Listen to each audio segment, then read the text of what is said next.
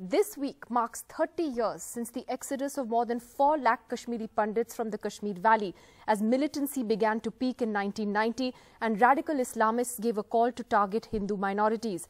Most were driven out of their homes all of a sudden overnight with few, if any, belongings. There were brutal, targeted killings at the time. Many families lost everything.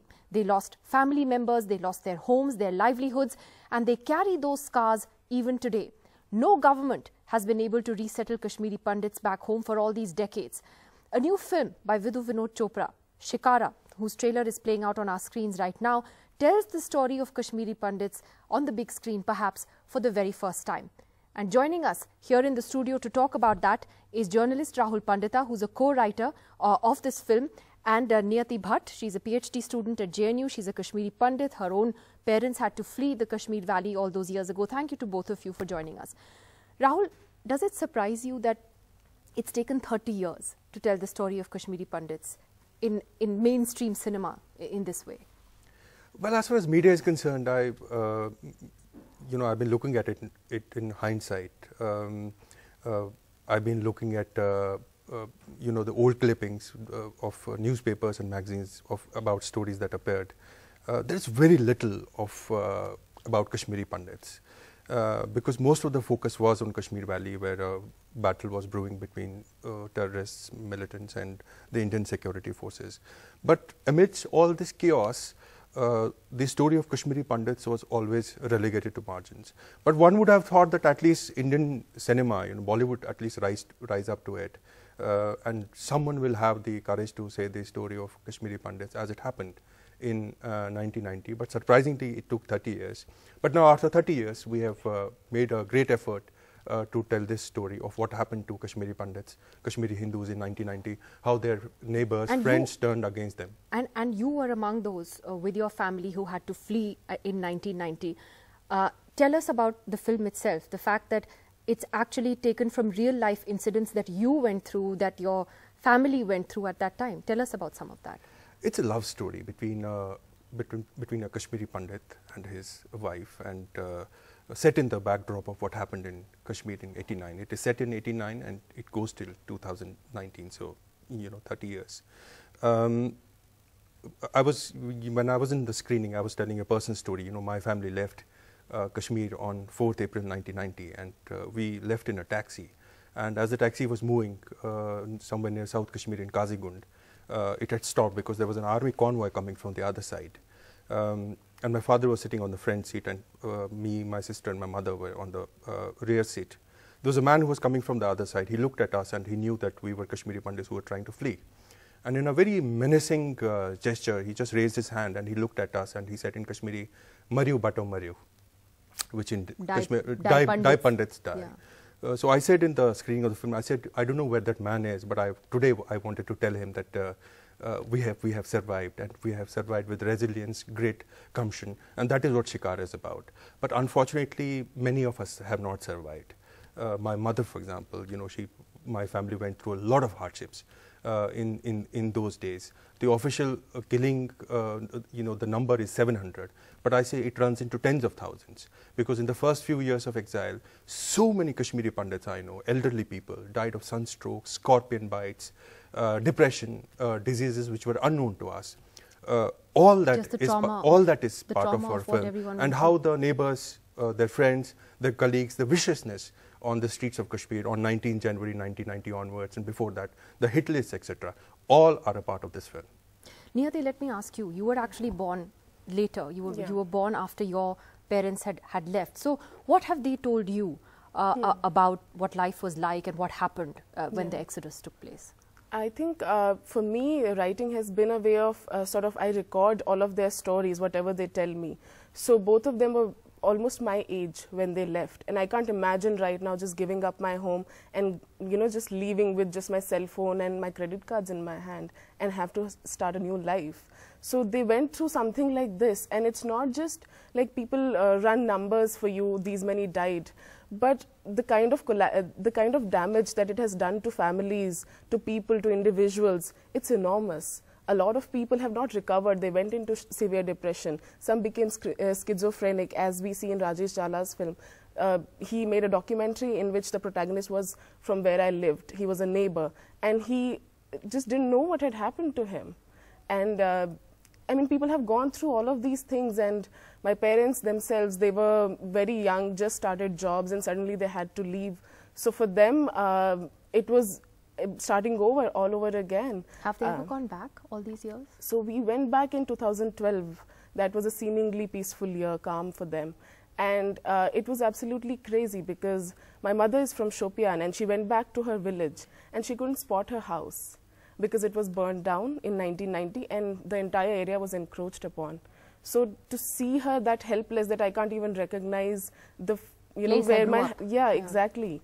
And but the another thing was that uh, uh, almost a hundred people from Shopian came out to see the daughter who had returned. They recognized their sis- uh, her sisters in our faces, in um, like in, they said to my sister, "Oh, you look like one of the sisters," and all of that. So I mean, Was these it a- things also happen. Did, did they find that the locals welcomed them back? the locals really welcomed them back because these were the girls and boys that my mom grew up with. They were like brothers and sisters to her.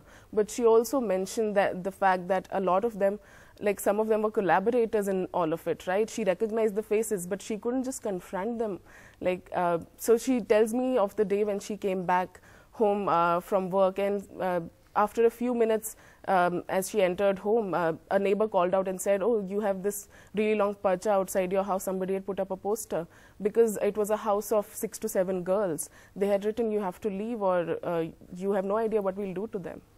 You know, uh, it's interesting that, Yeah. you, that you narrated this story because Rahul, one, one of the things we see uh, when we talk about the pain of Kashmiri Pandits is that is there any way to heal from this? And, uh, you know, while uh, you rightly point out that many people, friends, neighbors, people you knew and grew up with turned collaborators at that time, uh, it's, do you blame the entire Kashmiri Muslim population for what Kashmiri Pandits went through? And some people say that, and unfairly I think, that, you know, Kashmiri Pandits somehow today see what is happening to Kashmiris today as, for want of a better word, revenge for what they went through. How would you sort of answer that question? I think it's uh, I think it's unfair. Uh, the uh, you know in, we should say in no uncertain terms that uh, the reconciliation between Kashmiri Pandits and Kashmiri Muslims is a two-step process, as far as I am concerned, and that's what I we try to show in the film also. First is I always keep on saying this that for us denial is a bigger betrayal than what happened You to us in 1990 what happened. most of the Kashmiri Muslims, whether they've taken part in this ethnic cleansing or not, uh, are today in a denial. You know, they always uh, blame Jagmohan for the exodus of Kashmiri Pandits. So the first step would be to acknowledge the, the pain of Kashmiri Pandits and say, we, listen, we did not do this to you. We did not come out of our home and streets and kill you, but we remained silent or we were complicit. We are sorry about this. That's one. And then, you know, the Kashmiri Pandits also, after 30 years, should get a sense of justice.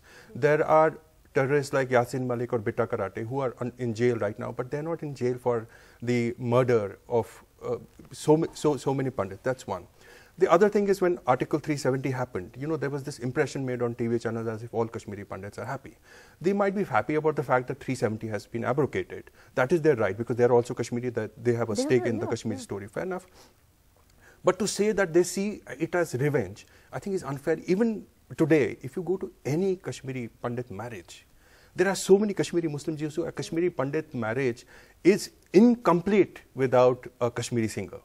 And the whole, uh, you know, the tr- troupe. There are so many friends who, who come visiting us. Uh, I keep on telling my friends that, you know, as and when we- return to Kashmir, and even if it is a, one of those colonies, you know, resettled colonies, I would like to live with them. There are so many friends who would like to live uh, with me there. So there's absolutely, know, it should not be seen as a way that, you know, it is to exact revenge, revenge on what happened, what is happening to them. Well, uh, last question to both of you, to Ni- Niyati first. That do you think that you could ever go back Yeah. uh, and and you know I'm not saying live there throughout the year.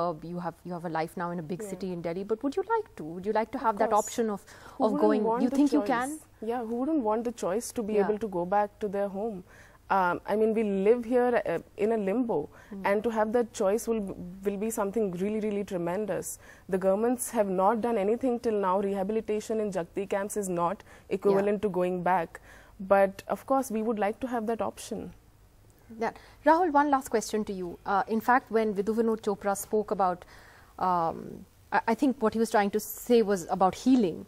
Um, you had the trolls that came out on Twitter and tried to boy, you know, they had a boycott Shikara hashtag today, but there's a there's a must watch Shikara hashtag that's come back, so that's good. But um, you know, what would you say, you know, to, to, to them? And are you also worried that somehow Kashmiri Pandits, of whom uh, it's my community too, right. that we've all become sort of pawns, political pawns, and no one really cares about what's actually happening to us, but no one is genuinely speaking up for what, what has happened to Kashmiri Pandits. Yeah, it's a, it's a, it's a double-edged sword, really. Uh, as I was saying in Ravish's show yesterday, uh, politics is playing on both sides, by speaking about it or by not speaking about it. Uh, as far as this film is concerned, you know, yesterday in, in a TV show, he said that, you know, there were two, there are two brothers and they should sorry, they should say sorry to each other by which he did not mean that a victim of an ethnic cleansing should say sorry to a terrorist.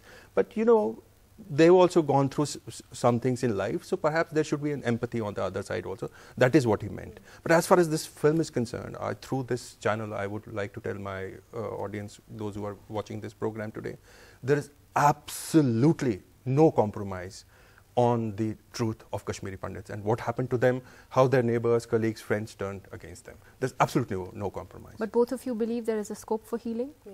Yes, there absolutely. is a scope for healing? Absolutely. For, absolutely. for all our communities? Oh, yes. I'm glad to hear that. Thank you. Thank you to both of you for coming in Thank tonight you. and talking Thank about you. your stories. And good luck, Rahul, with, with Shikara, which releases on the 7th of February. That's it on the program tonight. Sanket is up next.